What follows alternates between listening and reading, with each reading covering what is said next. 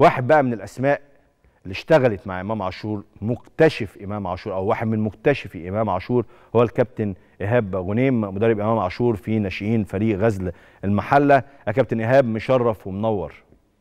حبيبي يا كابتن كريم دايما منور الشاشة كده يا حبيبي. سعداء بتواجدك معانا وأكيد أنت كمان سعيد بالمستوى اللي بيقدمه إمام عاشور. أنا سعيد والله وحاجة ما شاء الله حاجة جميلة.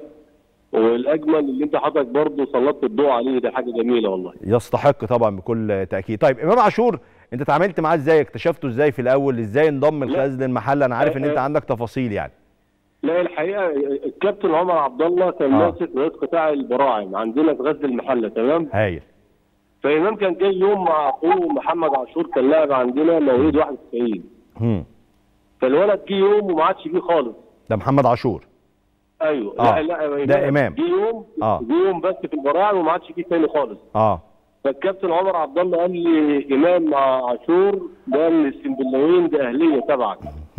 فأنت مش هتدخل النادي تاني إلا ما تجيبهولي لأن الولد كان ظهر بموهبة كبيرة هو في الصغر يعني تمام فكان والده رافض خالص إن هو آه، يجي غزل المحلة لسبب لأن أخوه كان مصاب إصابة كده ومحدش سأل عليه في النادي فكان زعلان يعني غاضب. وكان عايز يوديه القاهرة بصراحة يعني. فأنا خدت الاستمارات آه، ورحت السنبلاوين وده كان اللاعب الوحيد اللي في قطاع الناشئين مضى في السنبل في بيته يعني أنا مضيت امام عاشور في بيته. وقعدت مع والده حوالي أربع خمس ساعات أقنع فيه لحد ما آه، وافق في الآخر ومضيت الولد ووديت والده والت- والتزم بقى هو ومن حسن حظي برضه أو حظه إن هو حتى في الفريق الأول لما جه يلعب كنت أنا مدرب مساعد مع الكابتن طارق محجوب. في الفريق الأول ولعب معايا في الفريق الأول وأنا موجود برضه مع الكابتن طارق محجوب يعني. كابتن إيهاب أنت كنت متوقع هذا أو هذه المسيرة لإمام عاشور في مشواره الكروي؟ إحنا لسه بنتكلم على مسيرة قصيرة وصغيرة ولكن فيها خطوات عظيمة جدا سواء مع نادي الزمالك سواء مع منتخب مصر سواء مع الاحتراف الأوروبي. كنت متوقع له من وهو صغير هذه المسيرة؟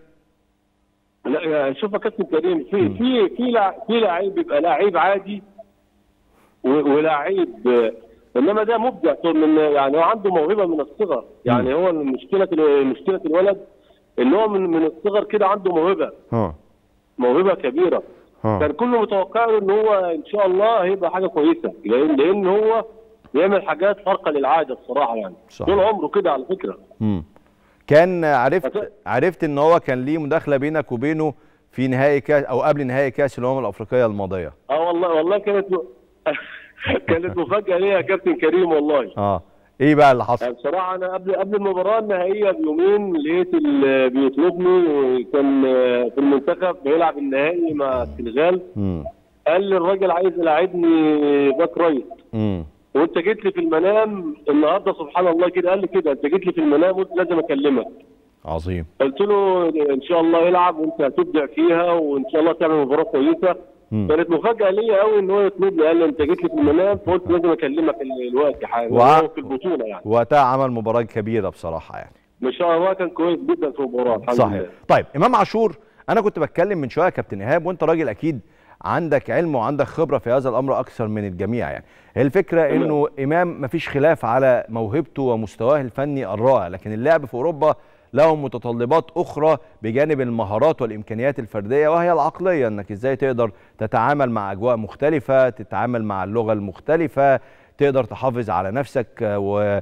وأمورك البدنية بشكل كويس. تتوقع إمام عاشور هيقدر يعمل ده كويس خلال تجربته الأوروبية؟ عشان نضمن إن شاء الله إنها تستمر بصراحة هو يعني لو انت لاحظت يا كابتن كريم لو انت لاحظت ال- الولد كان بادئ آه، العقلية بتاعته كانت لسه نتكلم بصراحة ما بغتش في نادي الزمالك. صح.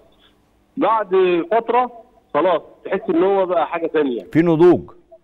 في نضوج. صح. والنضوج ده يعني إيه هيكتمل وهيبقى حاجة كويسة هناك لأن هم هينموه في أوروبا كمان. صحيح صحيح. فأنا متوقع إن هو إن شاء الله مش هيرجع تاني. مش ده أكيد يعني. مش هيرجع تاني. آه إن شاء يا الله. ريت يا ريت يا كابتن إيهاب.